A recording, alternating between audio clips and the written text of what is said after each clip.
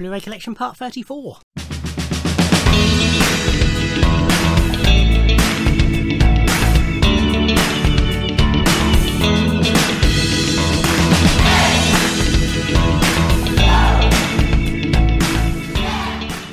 hi, hi everybody, and welcome to part 34 of a look at my Blu-ray collection. Um, so these are just films, TV, music, comedy, anything could be in here, just no box sets. And by box sets, I mean box sets of multiple films or multiple series of a TV show. Okay, this is Starship Troopers 3 Marauder. I basically got this because I've only just got a Blu-ray player and it was quite cheap and I love the first Starship Troopers. In fact, I think I've got a vague feeling that I actually thought this was the first one. I, I know I picked it up in HMV in Portsmouth. I got a feeling I grabbed it thinking it was the first Starship Troopers. Um, it's okay. It's not terrible. Nowhere near as good as, as the first. Um, but Casper Dean's back in it. Or Casper Van Dien, rather. Jolene Blaylock, Blalock is in it. Amanda Donohoe. So the cast isn't too bad. It's fun. Just not as good as the first. This is The Railway Man. I don't quite remember how and why I bought this. Apart from the fact Nicole Kidman's in it, I'm a big fan of Nicole Kidman. I've got a feeling it was like a Black Friday deal or something like that on Amazon, and it was like one ninety nine or something silly. So I decided to get it because it's not the sort of film I would normally think, "Oh, I must buy that," even with Nicole in it. She's not an actress, so I buy everything she does, but I always enjoy what she she's in, if that makes sense, or enjoy her performances. I own a lot of her stuff, but I'm selective about what I get. That's basically what I'm saying. Um, but this turned out to be a fantastic film. Um, so Colin Firth is an older gentleman, um, and he reminiscing basically, and it's most of it is sort of told in flashback of when he was a prisoner of war held by the Japanese during the Second World War. Um, and it's sort of the story of that time. And he's sort of traumatized by it. He comes back, he marries Nicole Kidman, and he tracks down one of the Japanese interrogators. I'm going to sneeze. He tracks down one of the Japanese interrogators to try and you know, get some closure, basically. But yeah, it's a really good film. This is Alice Through the Looking Glass. I loved the first Tim Burton's Alice in Wonderland. Uh, so this is the same cast with some additions, but it's not Tim Burton. Is the important bit about this? It is James somebody.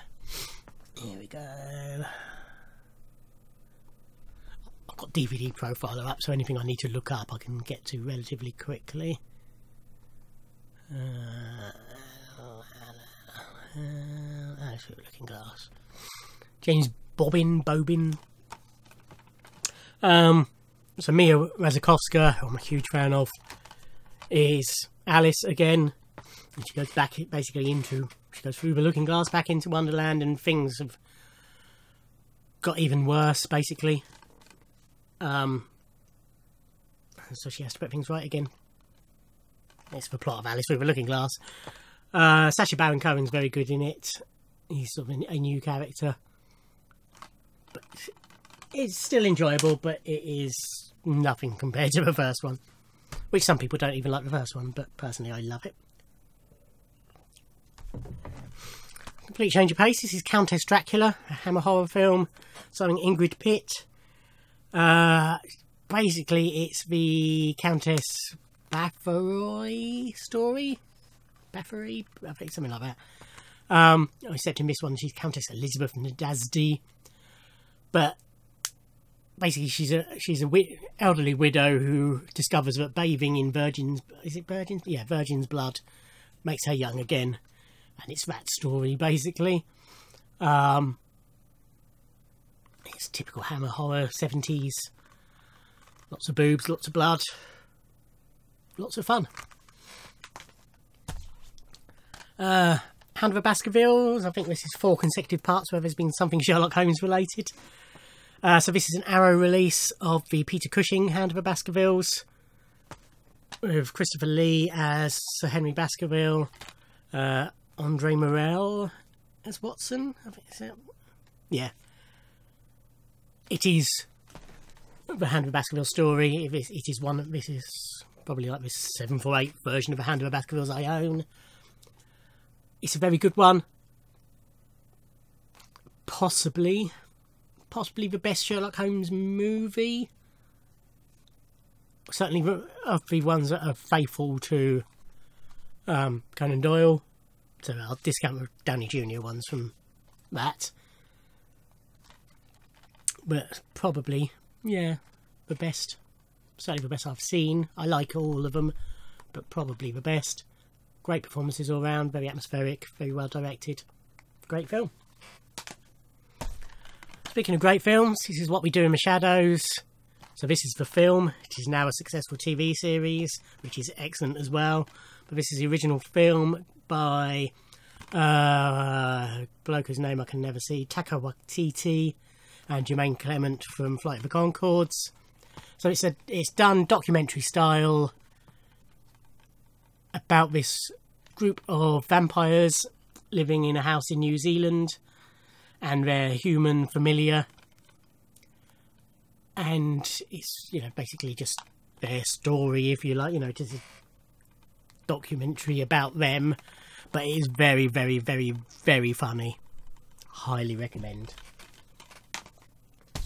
Okay, this, although it is technically a box set, it's in a normal Amaray, so for the time being it can live with these until I'm desperate for space. But this is the Mummy trilogy.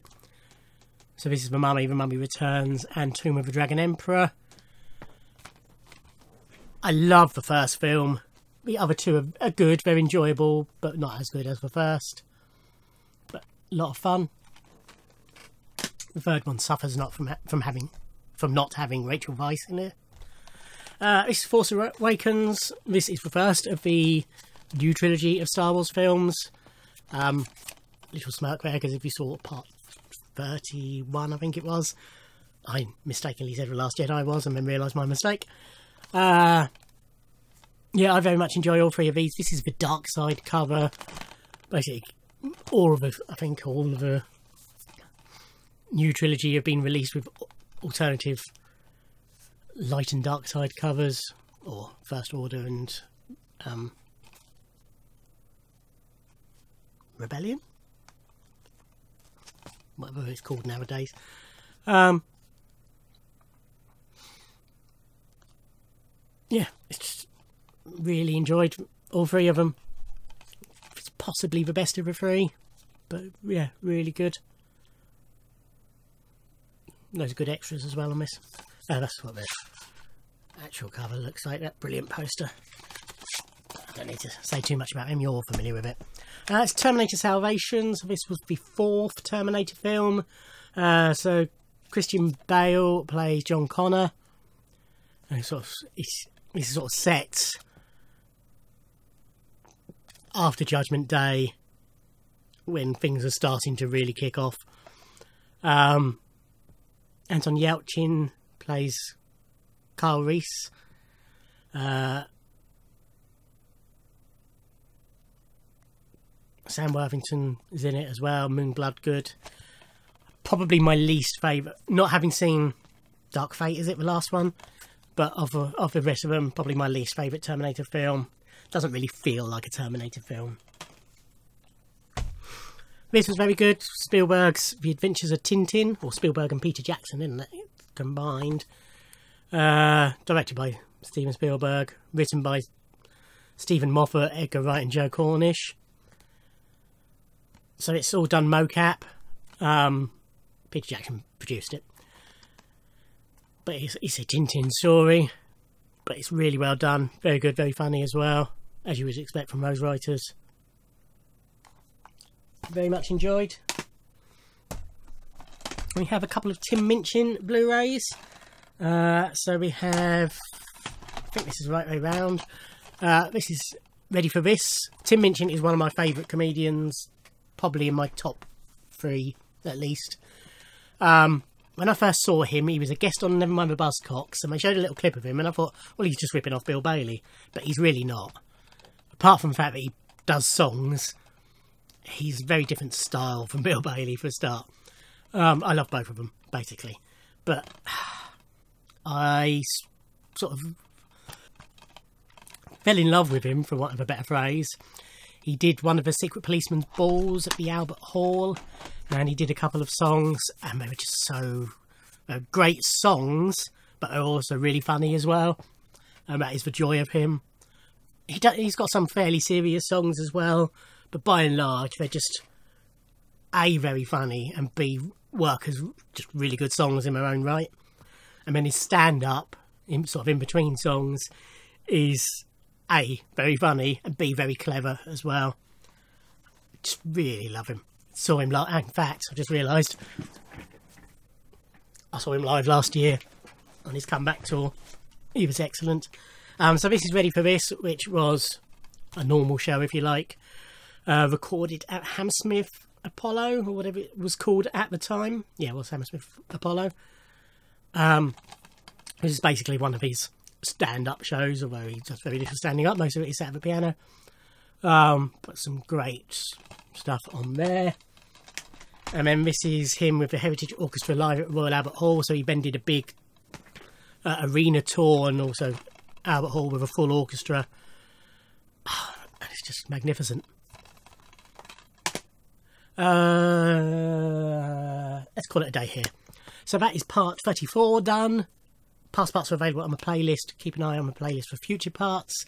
Thank you for watching. Like, comment and subscribe. And I'll see you in another video. Thanks. Bye.